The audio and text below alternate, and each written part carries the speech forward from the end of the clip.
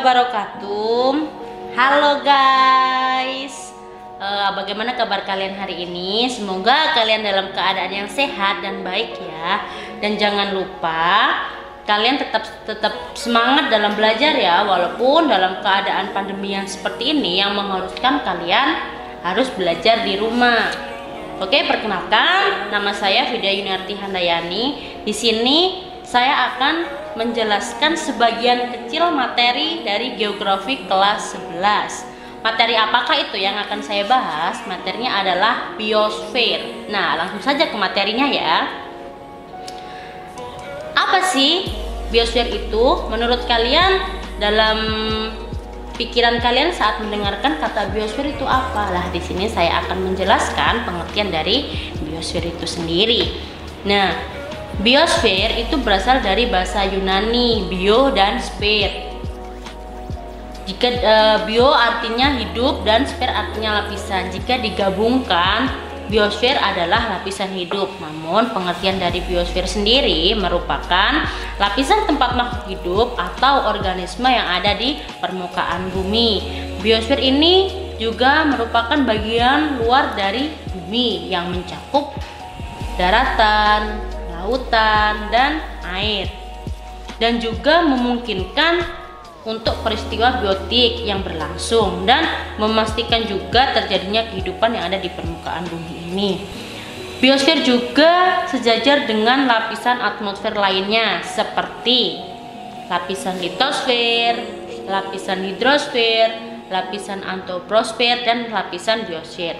Yang mana lapisan litosfer ini ilmu yang mempelajari tentang lapisan lapisan batuan. Sedangkan untuk lapisan hidrosfer adalah e, ilmu yang mempelajari tentang lapisan air. Terus yang selanjutnya yaitu lapisan antroposfer di mana lapisan ini mempelajari e, tentang manusia. Namun di sini saya akan lebih fokus e, menjelaskan tentang lapisan biosfer itu sendiri.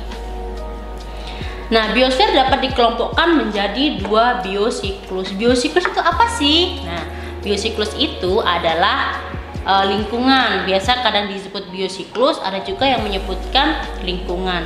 Nah, di sini ada dua yaitu biosiklus atau e, lingkungan daratan dan yang kedua biosiklus atau lingkungan perairan. Biosiklus daratan atau yang disebut dengan lingkungan daratan terdiri atas bagian-bagian kecil seperti bioma. Bioma itu adalah bentang lahan atau landscape yang memiliki karakteristik yang khas. Uh, karakteristik yang khas di mana karakteristik itu uh, berdasarkan iklimnya. Terus didominasi dengan flora dan fauna. Sedangkan biosiklus perairan atau yang biasa disebut dengan biosik uh, lingkungan perairan itu uh, dibagi menjadi dua, yaitu biosiklus perairan air laut dan biosiklus perairan air tawar. Di mana uh, perairan air laut itu air asin itu adalah air laut itu tadi sendiri yang disebut dengan lautan. Sedangkan biosik, uh, biosiklus perairan air tawar itu seperti kolam, danau, dan rawa. Uh, lanjut, ada apa aja sih komponen-komponen biosfer di sini? Saya akan menjelaskan komponen-komponen biosfer itu. Di mana komponen biosfer itu ada empat. Yang pertama individu, yang kedua populasi, yang ketiga komunitas, dan yang keempat adalah ekosistem. Individu yang pertama adalah suatu unit makhluk hidup yang umumnya berdiri sendiri dan menemukan makanannya sendiri. Terus yang kedua adalah populasi. Populasi adalah kumpulan dari individu sejenis dan berkembang biak di suatu wilayah tertentu. Terus yang ketiga adalah komunitas. Komunitas sendiri adalah kumpulan populasi yang bermacam-macam dan penghuni daerah tertentu. Komunitas ini dibagi menjadi dua, yaitu komunitas akuatik dan komunitas terestrial. Komunitas akuatik adalah komunitas yang ada di perairan, di mana komunitas ini tersusun atas populasi seperti ikan, seperti penyu, seperti katak, dan seperti hewan-hewan yang lain yang ada di e, perairan tersebut.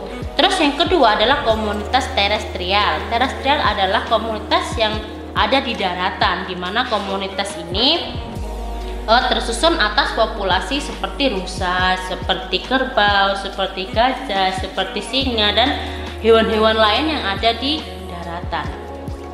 Ter Terus yang keempat yaitu ekosistem. Ekosistem adalah kumpulan beberapa komunitas beserta lingkungan fisiknya. Nah, di sini ada empat gambar.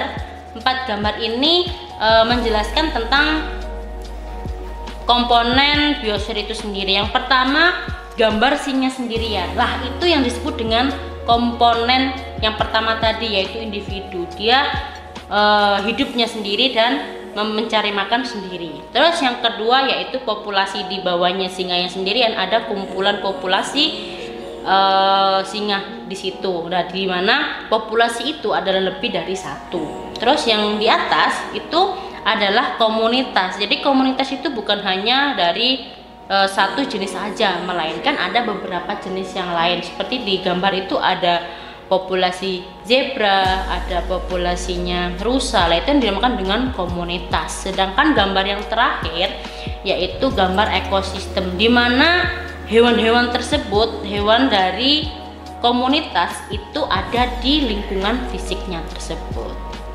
Oke. Itu saja sebagian kecil materi geografi yang saya jelaskan dengan tema biosfer. Semoga video ini ber bisa bermanfaat untuk kalian semua yang sedang berada di rumah, yang belajar di rumah juga. Eh, sampai jumpa di video-video yang selanjutnya. Saya ucapkan terima kasih dan saya akhiri. Assalamualaikum warahmatullahi wabarakatuh.